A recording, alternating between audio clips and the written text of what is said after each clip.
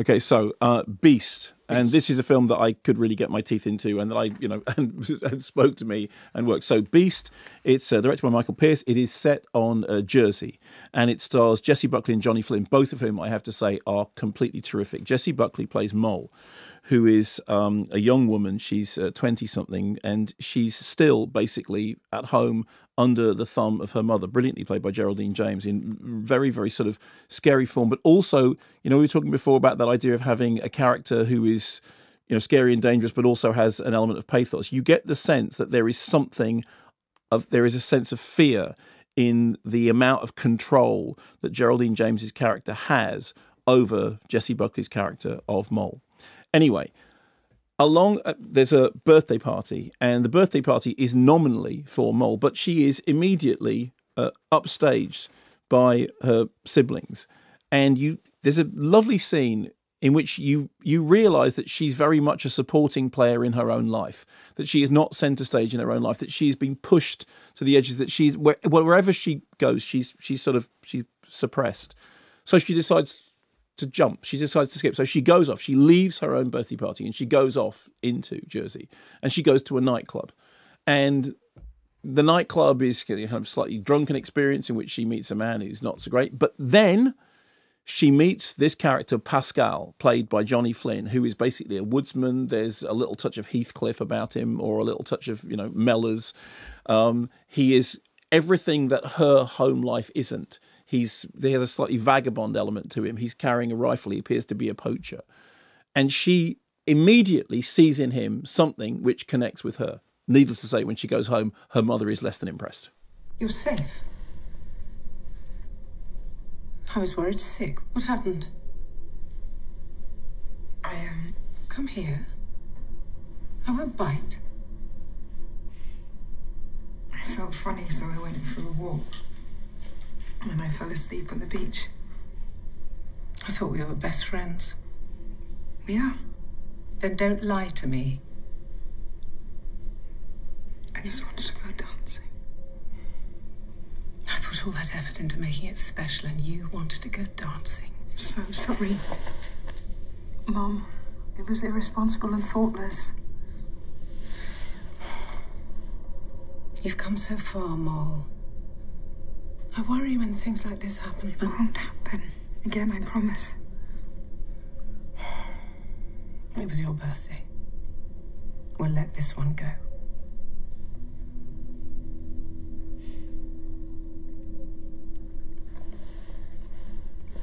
Eat your cake.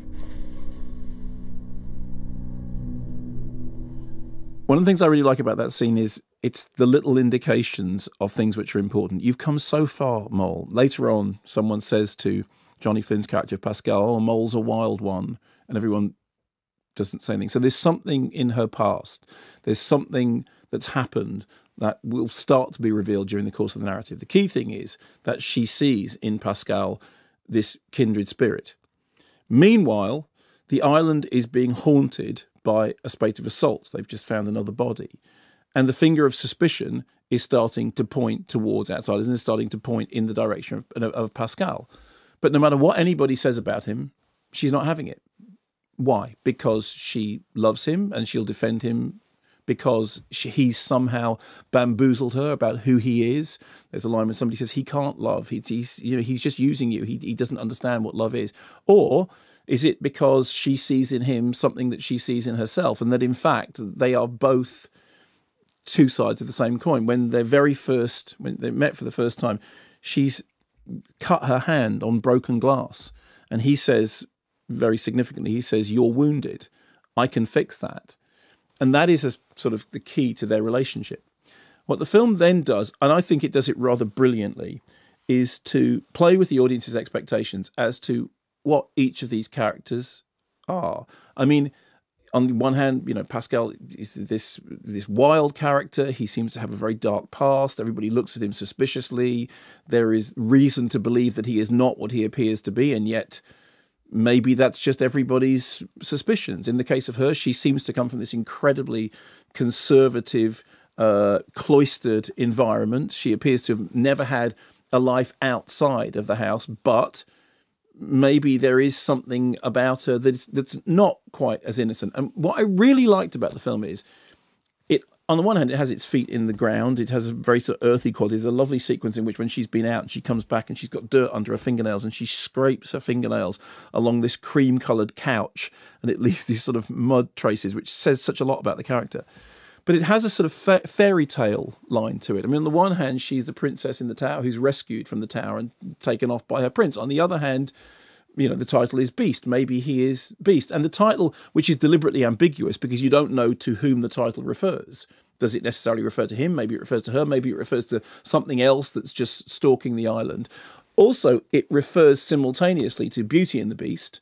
And I thought to Walerian Borowczyk's Beast, La Bête, um, which again is that sort of version of that fairy story, but turned upside down and turned into a very sort of controversially erotic film, which incidentally was banned forever and ever in the 1970s when it first came out. There are also hints of Archipelago, the Joanna Hogg film, um, which starred Tom Hiddleston, you know, before Tom Hiddleston was, you know, this huge international star that he now is, about families going mad on small islands. And tonally, it reminded me a little bit of there's a Francois Ozon f- film from the 90s called uh, See the Sea, Regarde la Mer, which does this brilliant thing of contrasting bright island sunshine with this kind of dark, duplicitous, dangerous, murderous theme that's going on underneath. And it does this really, really sort of nice juxtaposition of, you know, external beauty and internal darkness. And the most I think the most intriguing thing about it. Do you remember when you interviewed Rachel Weisz for My Cousin Rachel?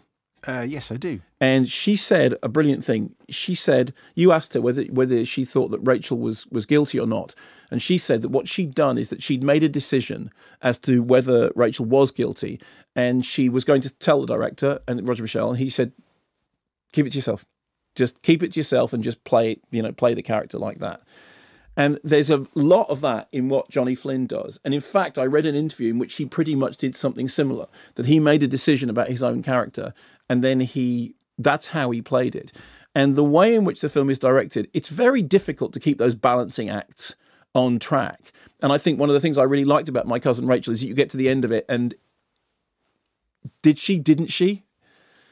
All the way through um, Beast, what the film is asking you to do is to make up your own mind about what's happening. I mean, and it's a really clever balancing act, and it's done. It's really, really well done.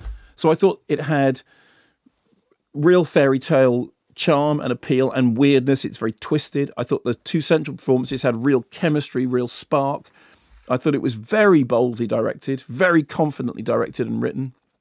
Had a and the interior is done in Surrey and the exterior is done in Jersey, but it had a real sort of sense of its place, of its location. And I came out of it and thought that was a really satisfyingly, you know, twisted psychodrama with you know lusty emotions and I say and it managed I say that's that's Hugh Grant in um uh is it Lair of the White Worm? I say, um, and uh, and it manages that balancing act that all the way through. It's playing with your you know with your allegiances and playing with your expectations, and you're looking at these two characters. and You're seeing the world through her eyes, but she is also an unreliable cinematic narrator. I'm not narrating her own life, but you're seeing it through her eyes. But her own eyes are not necessarily reliable. I thought it was really good. I was really impressed.